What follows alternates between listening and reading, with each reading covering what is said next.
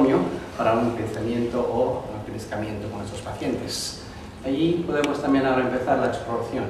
Pero siempre hay que entender muy bien que aunque lo estamos mirando en grosor, siempre terminamos conociéndolo en una sección anatómica, pero como tomografía. Así que uno tiene que girar la sonda una vez más y ver estas estructuras en planos ortogonales.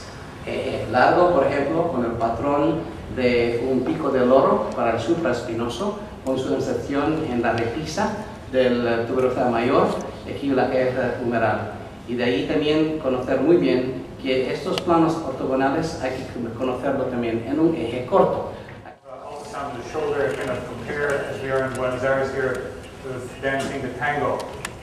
it's very much a play of feet, play of, of, uh, of the knees, and it's very important the way you are positioned relative to the patient.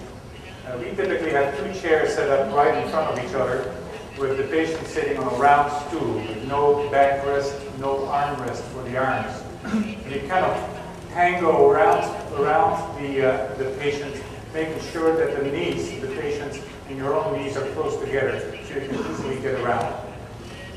Unlike the tango, tango uh, takes about three to five minutes. The ultrasound exam, I think Tony just left me about 20 minutes to do a normal shoulder exam, which is about typically what you're doing, approaching the shoulder from the front, as he showed, from the superior aspect, from the posterior aspect, and then with the arm and extension from the superolateral uh, aspect. Attention to is having the patient's arm, I don't know if you can see, if you zoom out a bit, uh, the patient's hands up patient's hand and laying on the, on the uh, patient's knee. When scanning the front of the shoulder, we'll be uh, looking at the biceps tendon in transverse axis. And we'll be scanning from the top extra-articular portion of the biceps. On your right side is the lesser tuberosity. On your right, on the left side is the greater tuberosity, much around the structure. We'll be only scanning that biceps transverse or short axis going from proximal to distal. And what I consider the distal part is where you can kind of see the pectoralis tendon blend in. So the pectoralis tendon coming in from the right and inserting on the tuberosity. Deep to that pectoralis is visible uh, the uh, long head of the biceps. So this is a distal point where sometimes fluid can pool up. It's also very important in weightlifters that you check this for possible tear of the pectoralis tendon.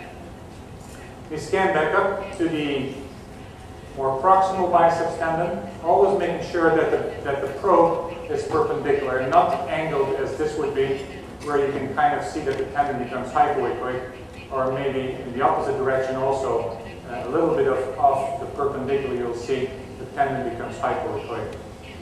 Now, as you scan more proximal, you'll come now to the biceps tendon in the rotator cuff interval, and the shape of the biceps changes a bit.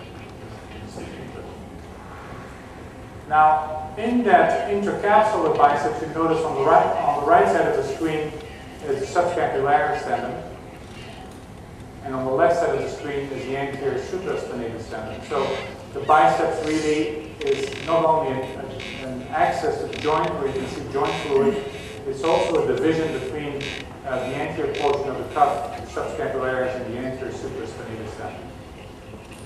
As was mentioned before, it's very important to look at the shoulder dynamically. And in doing so, you look at the subscapularis, and maybe if you can zoom out a bit so we can see the arm of the patient. So what we are doing now is we're bringing the arm from internal, and you see how close the biceps is relative to the coracoid process, to external rotation. In external rotation, you'll see a lot more of the subscapularis tendon.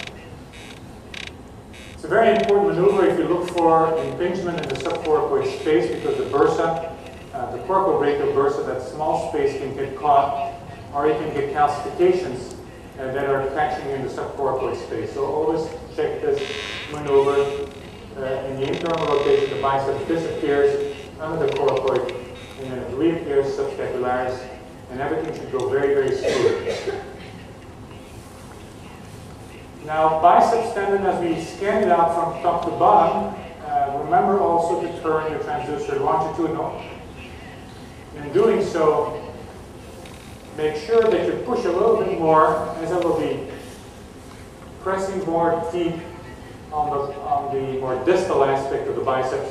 I'll be able to get the biceps nice in one line. So there's more effort, more pressure on the bottom part of your transducer. Deep to the biceps, you can see the anterior circumflex artery pulsating uh, deep to the biceps in the front, kind of over the humerus. That's the anterior circumflex.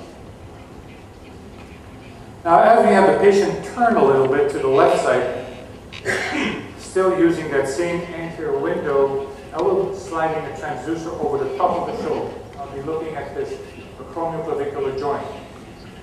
Maybe just So on the right side is the, is the clavicle, on the left side is the acromion. And in between you see the, uh, the acromioclavicular joint. In some patients you can actually see a disc, a fibrous disc, just like a meniscus, very echogenic.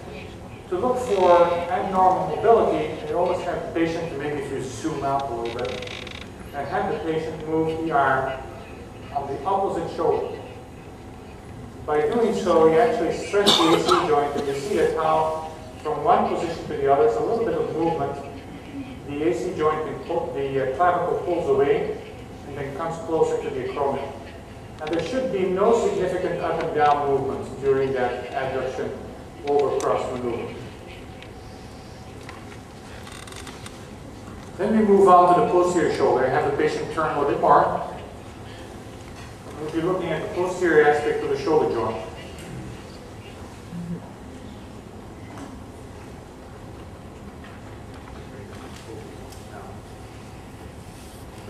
Now, again, uh, dynamics is very important.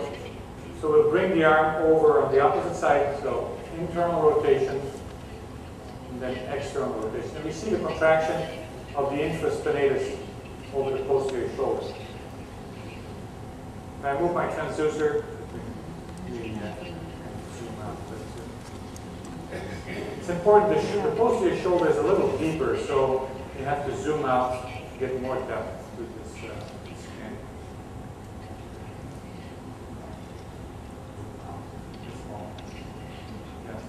So orientation on the right side is the humerus, on the left side is the scapula. The little triangle you see connecting the scapula to the humerus the little triangle on the glenoid side is the labrum, the little fibrous cartilage. You see that by internally rotating, you get infraspinatus muscle, which is dark, over the labrum. And by bringing the arm in external rotation, now you bring the tendon, which is more white, bright, over the labrum. This is the best image to look for joint fluid, because you have a, a contrast of white tendon to white labrum, if there's any fluid, it's going to separate. Now keep your focus also, when you bring the transducer more medial, and you rotate it a bit with the, the medial end of the transducer up, the focus on the spinoglenoid notch. The notch of the suprascapular artery, the vein, and the nerve. Now when I bring the arm from internal to external rotation, you'll notice that there is a vein that becomes much larger. So collapse the vein, and by externally rotate, you kind of expand the vein. The vein kind of expanding. If you have a ganglion, patients with ganglion can have a fluid collection. If you change from internal to external